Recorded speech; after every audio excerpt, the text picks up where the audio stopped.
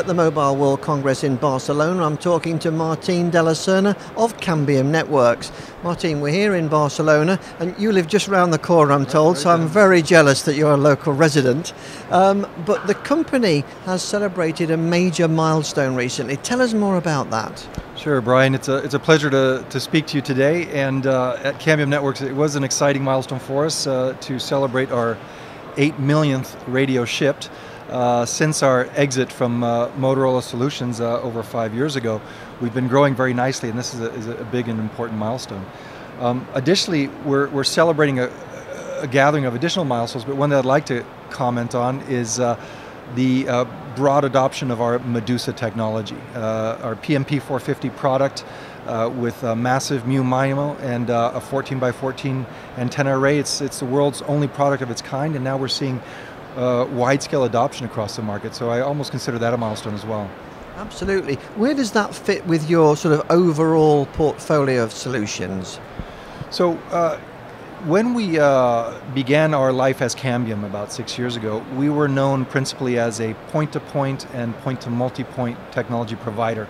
Well respected, uh, known to provide high performance products, but really in those two domains. And since then, we've been uh, busily, you know, the engineering team and the product team uh, and everyone else have been busily expanding uh, the portfolio. And uh, we, we offer now what we term a wireless fabric solution.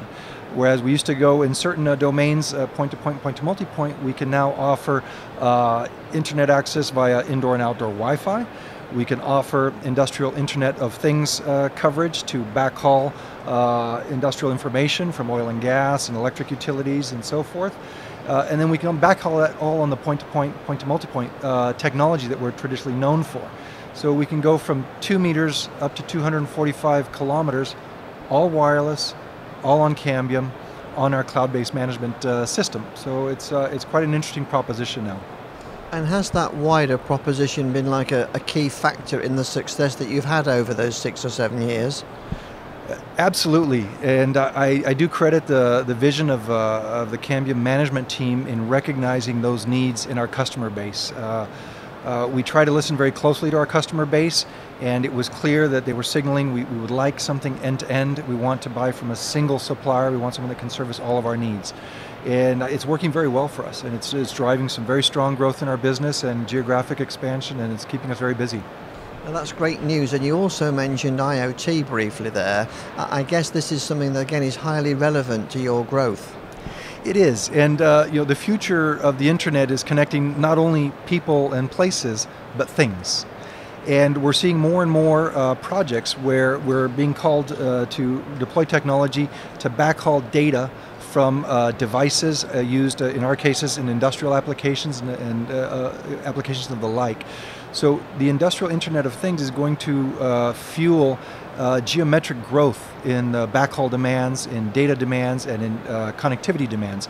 And so we're very active in this space. We lost our, we, sorry, we launched our new uh, product CN Reach uh, not long ago, specifically designed around this, and we're seeing a, a, great deal of interest in combining the traditional connectivity we provided with a layer of IIoT connectivity. Well, congratulations on the milestone, on your ongoing success. Thank you very much for talking to us. Thank you, Brian. It was a pleasure.